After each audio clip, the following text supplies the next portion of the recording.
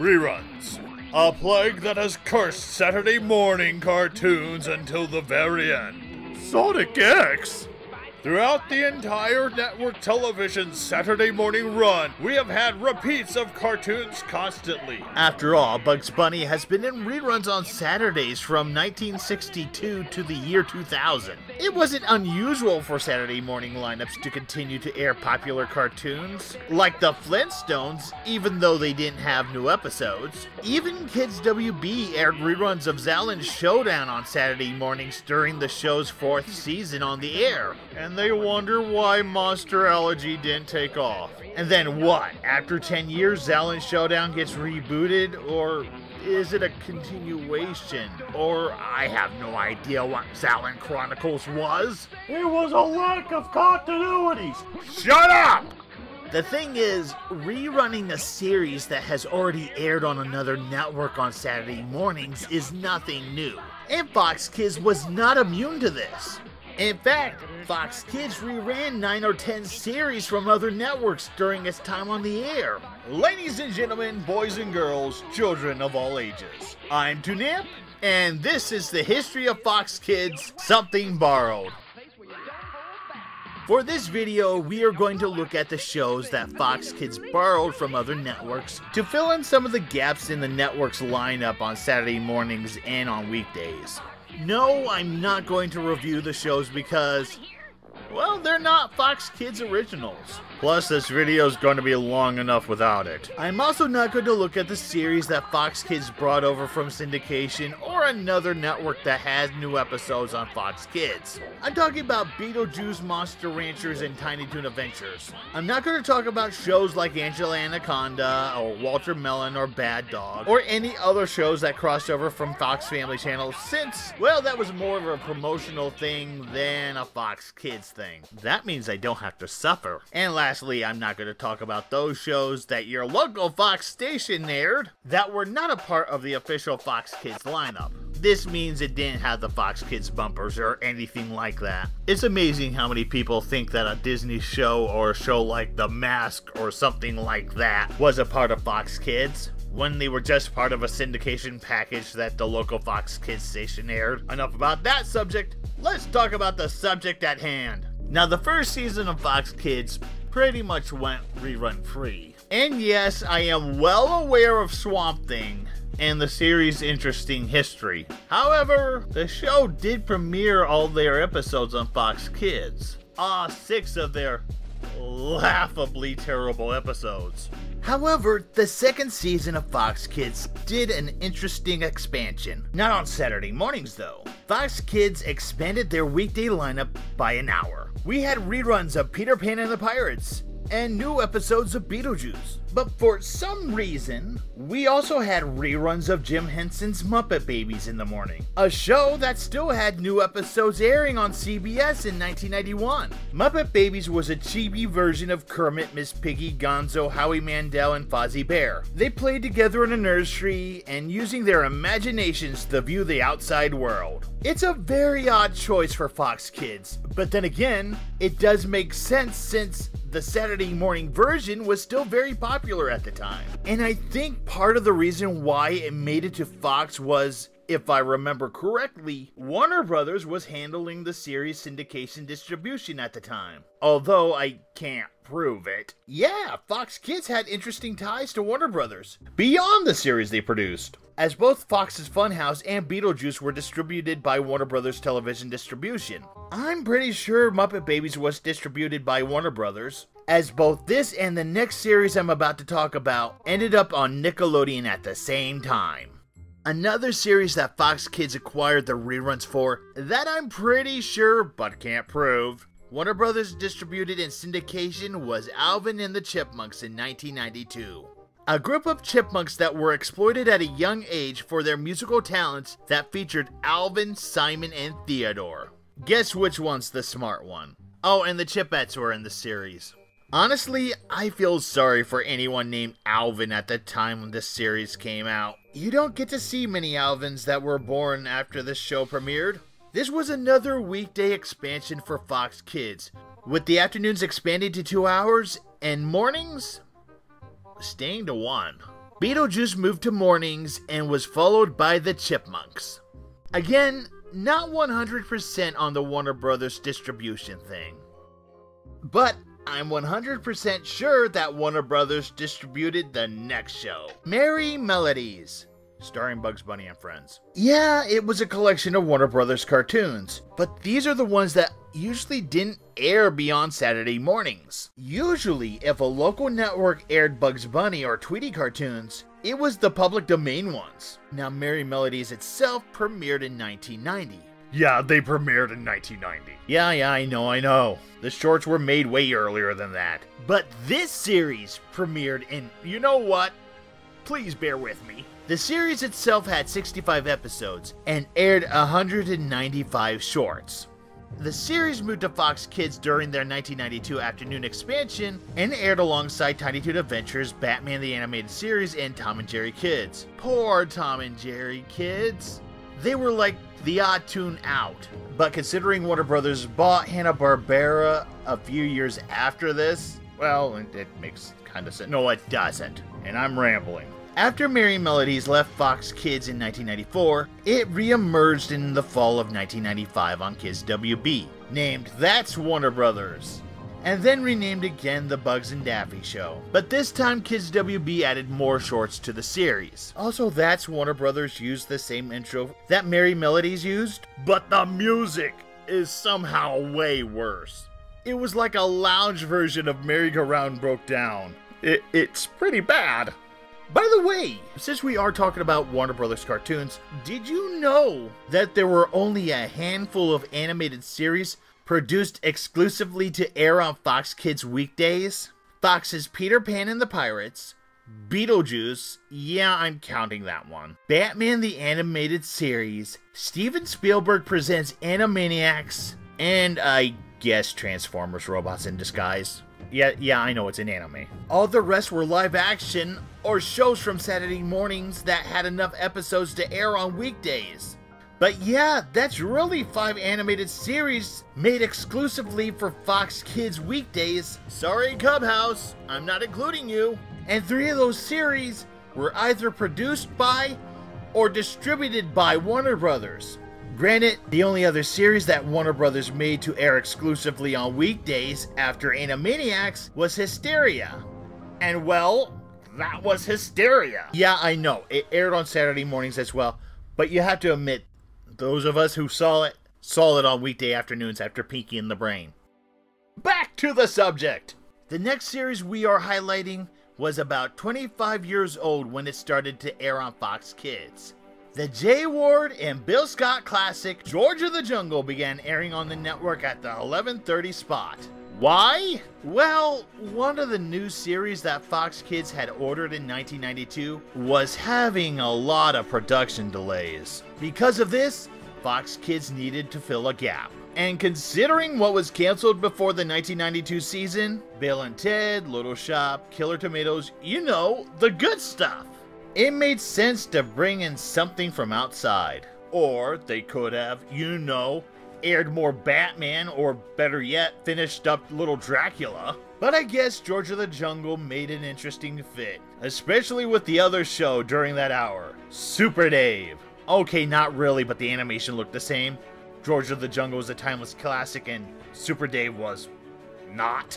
George of the Jungle lasted for five episodes on Fox Kids, being replaced by, um, educational pilot episodes? One was even a pilot for PBS's Ghostwriter, although with a different cast. The other was Solar Man, fighting evil by daylight, going to bed at moonlight. The pilot for Solar Man was about five years old. And considering both Superman and Birdman get their powers from the sun, did we even need a Solar Man?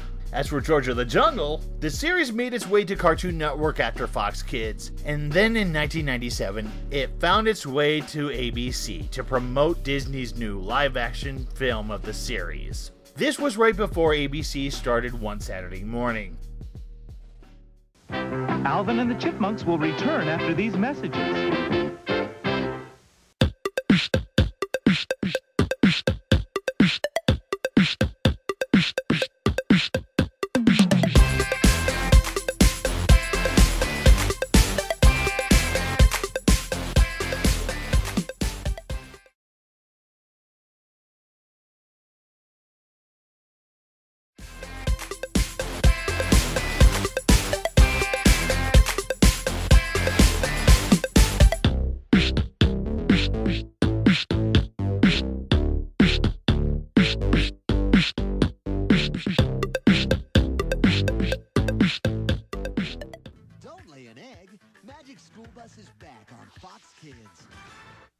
After all that, Fox Kids premiered X Men, the animated series, for two weeks.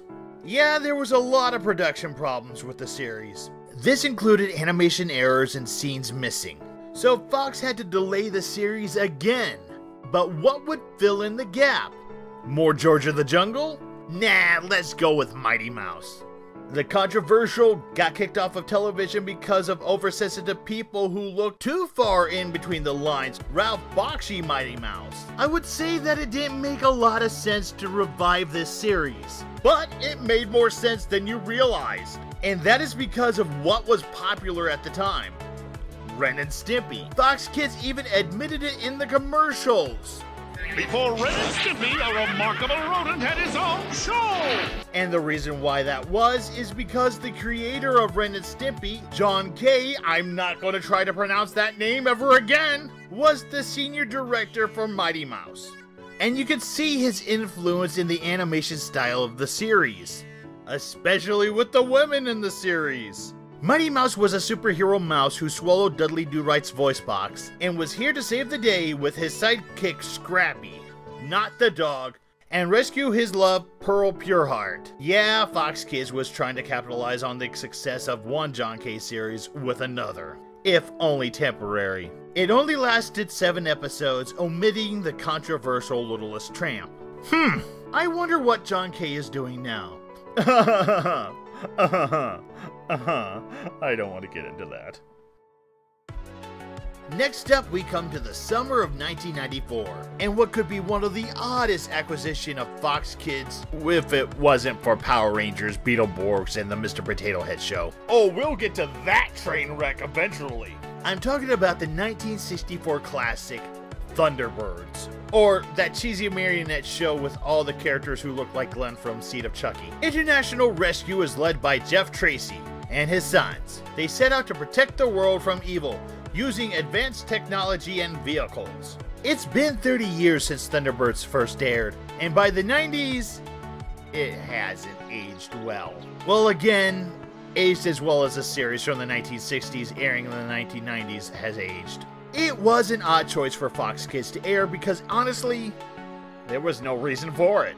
Outside of maybe following up to another sci fi show that Fox Kids just finished, the Red Planet miniseries, or they were looking for an excuse to keep Power Rangers off Saturday mornings. It didn't work if that was the case. My guess is that it was summer, and Fox Kids was trying to make their lineup look fresh with a hand me down new to you series and some specials. The series would only last 7 episodes on Fox Kids, from July to the start of the new season in September of 1994. Now we jump to the winter of 1997 and the most famous borrowed series on Fox Kids. And when I say borrowed, I mean it was hot potatoed from one network to another until Fox got their hands on it. I'm talking about the big one, Eerie, Indiana. Marshall Teller and his family moves to a new community in Indiana called Eerie. But strange things happen in nowhere. I mean Gravity Falls. I mean Eerie. Eerie is what I mean. And now it's up to Marshall and his friend Simon to uncover the truth about Eerie's secrets. Also, John Astin is there because of Creepy, Kooky, and altogether Ookie. And there's also Dash X the Edgehog. With the tick falling out of favor with the network and Goosebumps getting amazing ratings, it was obvious that Fox needed something along the same lines to fill the gap left by the tick. And again, Fox didn't seem to like their weekday shows airing on Saturday mornings at the time because they kept putting in Power Rangers Zeo and then pulling the show constantly. Also, Eerie, Indiana had already been Disney Channel's sloppy seconds after NBC canceled the series, so you can bet that it came cheap.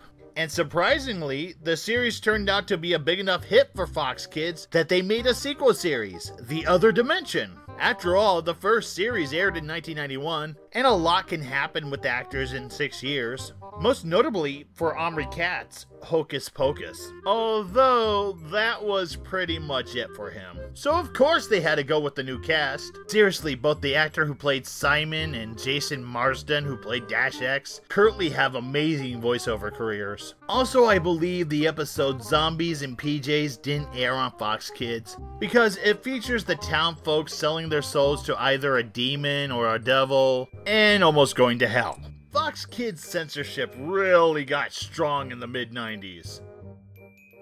Speaking of censorship, we now skip ahead to the fall of 1999 and reruns of a show that tied into a new show Fox Kids was airing at the time the extremely popular Beast Wars Transformers. The Maximals, led by Optimus Primal, must stop Megatron and his Predacons from ruining the original Transformers timeline by landing in the past, bonding with natures, and avoiding death. Lots and lots of death. Like 12 characters died in that series. Yeah, look, the Nostalgia Critic kinda got it wrong, as Beast Wars was not an official Fox Kids show until after it finished up its run in syndication after three years. The Nostalgia Critic got a few things wrong with that review, but the fact of the matter is, Beast Wars did air on Fox Kids, albeit a more censored version of the show. Yeah, that scene where Inferno sets Tarantulas on fire, the scene kind of got shortened due to the Fox Kids censors didn't want to show kids a robot writhing in pain and screaming while on fire. I, on the other hand, have no problem with it. Seriously, there was a whole lot more robotic violence in Samurai Jack than there was in Beast Wars. But it's amazing that Fox Kids was so much more strict on shows than syndication was at the time. Now, the reason why Fox Kids aired Beast Wars because they started airing the Beast Wars continuation series, Beast Machines. Boring, old Beast Machines. I love Beast Wars. And I am amazed at how the series animation progressed over the years, even into Beast Machines. The series lasted the entire 1990 to 2000 season, airing on weekdays, which is impressive because that season was kind of a mess on weekdays. Remember Power Rangers OTO? Anyone? And with that, we get to the final series on this list. The CBS Go To series, if a series didn't pan out, seriously, Rob Paulsen, you can gloat as much as you want about being Rude Dog, but the series didn't even last a full season before getting replaced by Dungeons and Dragons. First airing in 1983 and ended in 1985 with 27 episodes. The show is about five teenagers and a kid trying to get home from the magical realm they were transported to by a magical carnival ride.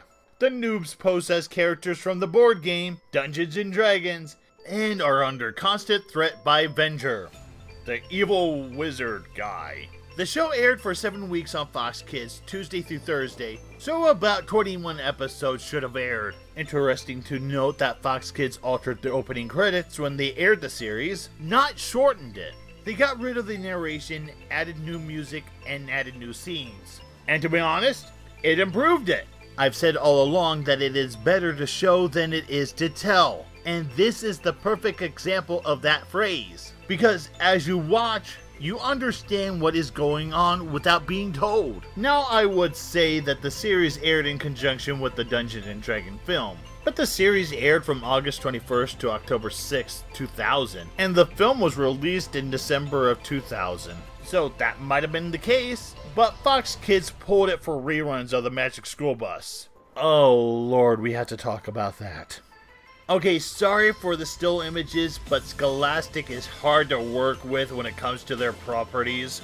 Miss Frizzle and her class go out on adventures in the name of education. After Bobby's World's legendary run of eight seasons on the network, Fox decided to put Bobby to bed for the last time. But since Bobby's World was an FCC mandated show at the time, and Fox Kids needed to fill three hours of education programming a week, Fox Kids decided to bring in reruns of the Magic School Bus in the 1998-99 season. The show lasted on Fox until the weekday block was canceled in 2001. It only had 52 episodes that first aired on PBS, and then it moved to Fox. And as long as it filled Fox educational quota, I guess it was fine. Now there is a possibility that Beakman's World also aired on weekdays on Fox, filling the second half hour in the morning but that just might have been from a syndication package to replace the void left after Fox reduced the morning time slot to a half an hour. That all could have been just a coincidence. I've never found anything official from Fox Kids that said the series was on the block. Those were the something borrowed from Fox Kids. Back then, it was not anything new for a network to air reruns of an animated series or live action series for that matter that's over 30 years old. After all, Cartoon Network, Nickelodeon, and even Disney was airing reruns of shows. Nowadays, networks really can't get away with it. Not with the internet anymore. Shows like Dungeons and Dragons that felt fresh at the time, the reason for that freshness was it was the first time we actually got to see the series 10 years after it left the air. Yeah, the internet does tend to ruin a lot of things when it comes to stuff like that. But good friends, this ends season 2 of the history of Fox Kids. But not to worry, I still have the history of Disney television animation and a miniseries about cable channels cartoon blocks. And no, it won't be about Cartoon Network, Nickelodeon, or Disney. There will be a Fox Kids Halloween special in October, looking at Fox Kids Halloween and their Halloween special. It's a special kind of special, meaning that it's bad. Seriously, Fox Kids is great, but their holiday specials are terrible. Then we'll be back in season 3. Hopefully before the new year. No promises. No promises. They got on what they thought was a thrill ride. They got off in a mystical dimension. Give the horn back to Uni! Now they're trapped in a world of dragons, wizards, ah! and danger. Now I'll take what's mine. They're in the realm of Dungeons and Dragons. Getting home will be a real trip. Let there be tomorrow! Watch Dungeons and Dragons coming up in a few minutes. New on Fox Kids.